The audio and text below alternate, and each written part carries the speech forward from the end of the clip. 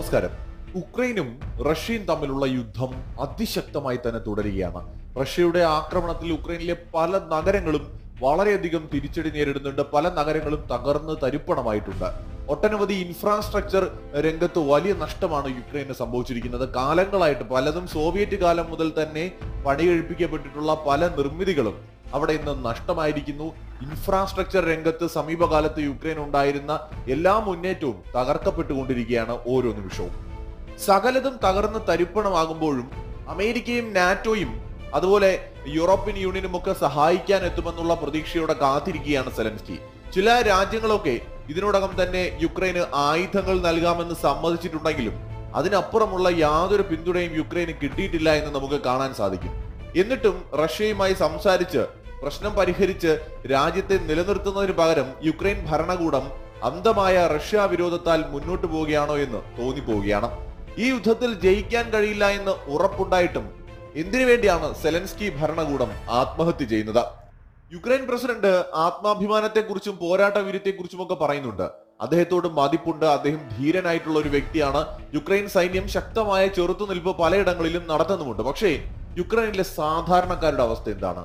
അവരുടെ ജീവിതം അങ്ങേയറ്റം തകർന്നിരിക്കുകയാണ്. കുട്ടികൾക്കും മുതിർന്നവർക്കും സ്ത്രീകൾക്കും ഒന്നും പുറത്തിറങ്ങാൻ കഴിയാതെ അങ്ങനെ ഇറങ്ങുന്നവർക്ക് തൽക്ഷണം ജീവൻ നഷ്ടമാവുന്ന സ്ഥിതിയിലാണ് യുക്രൈനിലെ ഇന്നത്തെ അവസ്ഥ.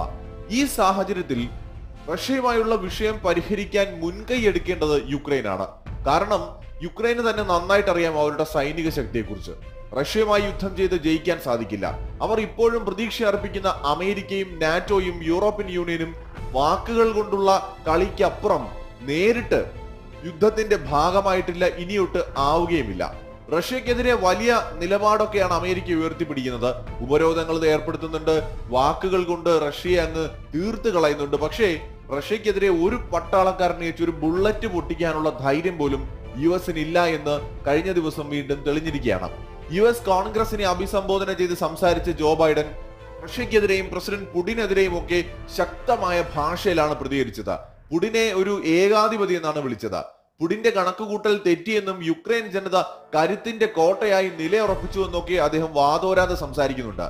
ബൈഡൻ പറയുന്നത് കേട്ടാൽ നമുക്ക് തോന്നിപ്പോവും യുക്രൈനിലെ ജനതയെ അവിടെ അങ്ങനെ കോട്ടയാക്കി നിർത്തിയത് അമേരിക്കയാണെന്ന്. സത്യത്തിൽ ആ തരത്തിലൊക്കെയാണ് ബൈഡൻ വലിയ വാചകമടി നടത്തിയത്. യുക്രൈന് സഹായം നൽകുന്നത് തുടരുമെന്നും നാറ്റോയുടെ ഓരോ ഇഞ്ച് മണ്ണും സംരക്ഷിക്കാൻ അമേരിക്ക മുന്നിൽ നിൽക്കുമെന്നും ഒക്കെ ഇന്നലെ ബൈഡൻ തട്ടിവിടുന്നുണ്ടായിരുന്നു. ഇവിടെ നാറ്റോയുമായി ബന്ധപ്പെട്ട് യാതൊരു പ്രശ്നവുമില്ല എന്ന് ഓർക്കണം. യുക്രൈനുമായി നടക്കുന്ന യുദ്ധത്തിൽ നാറ്റോയുടെ മണ്ണിലേക്ക് റഷ്യ ഇതുവരെയും നോട്ടമിട്ടിട്ടുമില്ല.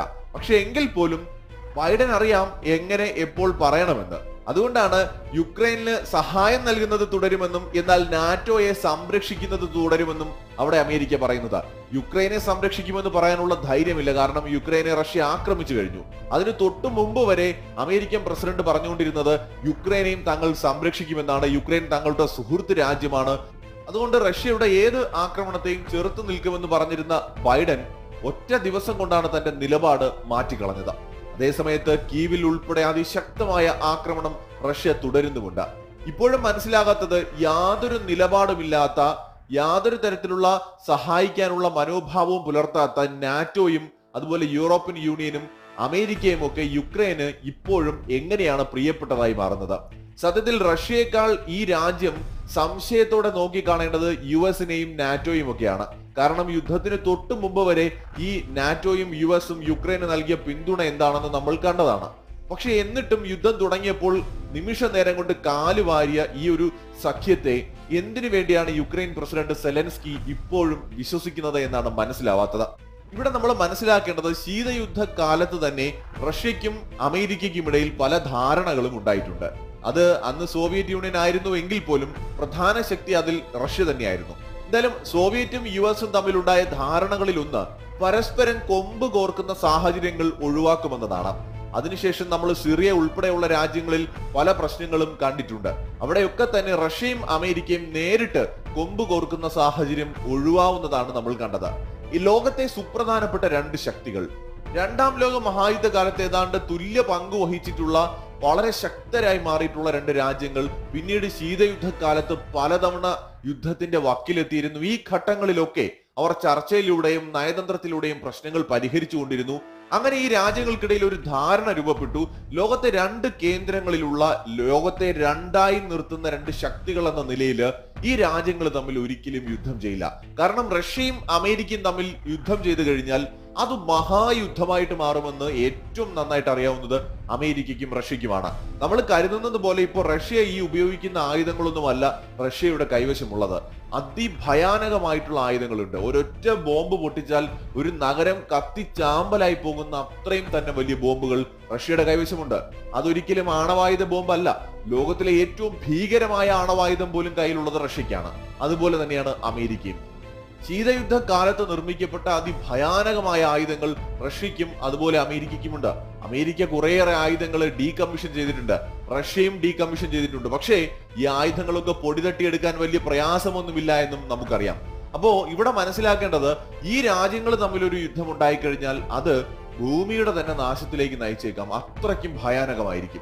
ഈ രാജ്യങ്ങളുടെ ഇടയിൽ പെടുന്ന ഒട്ടനവധി രാജ്യങ്ങൾ വേറെയും ഉണ്ടാവും. അത് മാത്രമല്ല നാറ്റോ എന്ന് പറയുന്ന ഒരു കൂട്ടായ്മ ഒരേ സമയം അമേരിക്കയ്ക്ക് ശക്തിയും ദൗർബല്യവുമാണ്. ഇപ്പോ റഷ്യയും അമേരിക്കയും തമ്മിലൊരു യുദ്ധം ഉണ്ടായി കഴിഞ്ഞാൽ ഒരേ സമയത്ത് തന്നെ റഷ്യ നാറ്റോയെയും ആക്രമിക്കുമെന്ന കാര്യത്തിൽ സംശയമില്ല. അമേരിക്കയും കുറെ യൂറോപ്യൻ രാജ്യങ്ങളും ഒക്കെ ഉൾപ്പെടുന്നതാണ് ഈ നാറ്റോ എന്ന് പറയുന്നത്. ഇതിൽ തന്നെ യൂറോപ്യൻ രാജ്യങ്ങളിൽ ഏറിയതും വളരെ ചെറിയ രാജ്യങ്ങളാണ്. സൈനിക ശക്തിയൊന്നും ഇല്ലാത്ത രാജ്യങ്ങളാണ്.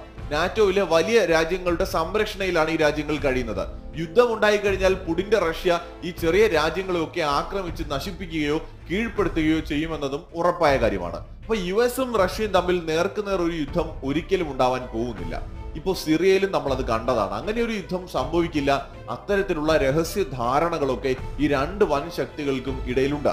ഈ രണ്ട് ശക്തികൾ തമ്മിൽ ഒരു യുദ്ധം ഉണ്ടാവണമെങ്കിൽ അത്രയും വലിയൊരു കാരണമൊക്കെ ഉണ്ടെങ്കിൽ മാത്രമേ സാധിക്കുകയുള്ളൂ. മറ്റേതെങ്കിലും ഒരു രാജ്യത്തിന്റെ പേരിലോ അല്ലെങ്കിൽ ഇതുപോലെയുള്ള വിഷയങ്ങളിലോ ഒന്നും യു എസും ഇടപെടാൻ പോകുന്നില്ല റഷ്യയും ഇടപെടാൻ പോകുന്നില്ല. ഈ ഒരു ബോധ്യം രണ്ട് രാജ്യങ്ങൾക്കുമുണ്ട് കൃത്യമായി വ്ളാഡിമിർ പുടിൻ അറിയാം പുടിൻ യുക്രൈനെ ആക്രമിച്ചാൽ ഒരിക്കലും അമേരിക്ക അവിടെ തടയാനായി വരില്ല എന്ന്. പക്ഷെ ഇത് അറിയാതിരുന്നത് ആർക്കാണ്?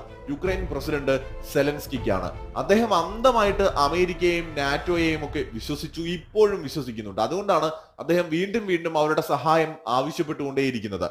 യാഥാർത്ഥ്യം എന്താണെന്ന് വെച്ചാൽ ഒരിക്കലും അമേരിക്കയുടെയോ നാറ്റോയുടെയോ ഒരു പൂർണമായ ഒരു പിന്തുണ യുക്രൈനിൽ ലഭിക്കാൻ പോകുന്നില്ല. അതേ സമയത്ത് തന്നെ ചെറിയ തോതിൽ ഒരു പക്ഷേ യു എസോ നാറ്റോയിലെ ചില അംഗരാജ്യങ്ങളോ ഒക്കെ തന്നെ ചില പഴുതുകളിലൂടെ ഒരുപക്ഷെ യുക്രൈനെ സഹായിച്ചേക്കാം. പക്ഷെ നേരിട്ട് ഒരിക്കലും യു എസിനും നാറ്റോയ്ക്കും ഒന്നും ഈ വിഷയത്തിൽ ഇടപെടാൻ കഴിയില്ല. അതിനുള്ള ധൈര്യം അമേരിക്ക കാണിക്കില്ല. അങ്ങനെ ചെയ്താൽ സമ്പൂർണ യുദ്ധം. നമ്മളൊക്കെ ഈ ശീതയുദ്ധ കാലത്ത് ഭയപ്പെട്ട മൂന്നാം ലോക മഹായുദ്ധം ഇരുപത്തൊന്നാം നൂറ്റാണ്ടിൽ ഭൂമി സാക്ഷിയാകും. അത് മനുഷ്യരാശിയുടെ തന്നെ ഒരുപക്ഷെ അവസാനമായി മാറിയാലും അത്ഭുതപ്പെടാനൊന്നുമില്ല.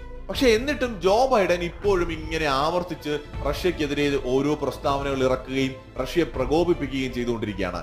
ഒരു വശത്ത് റഷ്യയും യുക്രൈനും തമ്മിൽ ചർച്ചകളും യുദ്ധവും നടന്നുകൊണ്ടിരിക്കുന്നു. അപ്പോൾ ചർച്ചകളിൽ ലോകം പ്രതീക്ഷ അർപ്പിക്കുമ്പോൾ ഇവിടെ ജോ ബൈഡൻ ചെയ്യുന്നത് എരുതിയിൽ എണ്ണ ഒഴിച്ചുകൊണ്ട് അതിനെ ആളി കത്തിക്കുകയാണ് അതായത് ആ ഒരു തിരി കെട്ടുപോകുന്നെങ്കിൽ അങ്ങ് കെട്ടുപോകട്ടെ എന്ന് കരുതി ഇരിക്കുന്ന സമയത്ത് അങ്ങനെ കെട്ടുപോകണ്ട അത് ഞാൻ ആളി കത്തിക്കും എന്ന് പറഞ്ഞുകൊണ്ട് ഉടനെ തന്നെ പോയി എണ്ണ ഒഴിക്കുന്ന സമീപനമാണ് ഇവിടെ നമ്മളെ ബൈഡൻ കാണിച്ചുകൊണ്ടിരിക്കുന്നത്. അത് തീർച്ചയായിട്ടും യുക്രൈൻ ഭരണകൂടവും പ്രത്യേകിച്ച് യുക്രൈൻ പ്രസിഡന്റ് ഇതുവരെ മനസ്സിലാക്കിയിട്ടില്ല. ഇത്രയൊക്കെ അടി കിട്ടിയിട്ടും അദ്ദേഹം ഇപ്പോഴും അന്ധമായിട്ട് അമേരിക്കയും നാറ്റോയും വിശ്വസിക്കുകയാണ്. എപ്പോഴെങ്കിലും അവർ ഈ യുദ്ധത്തിന്റെ ഭാഗമാകുമെന്ന് പ്രതീക്ഷിക്കുകയാണ്. റഷ്യ ആണെങ്കിൽ ഓരോ ദിവസവും യുക്രൈന്റെ ഓരോ മേഖലകളായി കീഴടക്കി മുന്നേറുകയാണ്. പല നഗരങ്ങളും പൂർണമായി റഷ്യൻ സേന പിടിച്ചെടുത്തു കഴിഞ്ഞു. അത് മാത്രമല്ല തലസ്ഥാനത്തിന് തൊട്ടരികിൽ അവർ എത്തിയിട്ടുണ്ട്. ഏത് നിമിഷവും റഷ്യ തലസ്ഥാനം പിടിച്ചെടുക്കും. അതിനുവേണ്ടി എത്ര ശക്തമായ ആക്രമണം നടത്താനും വ്ളാഡിമിർ പുടിൻ മടിക്കില്ല എന്ന് തന്നെയാണ് ഇപ്പോൾ വ്യക്തമാവുന്നത്.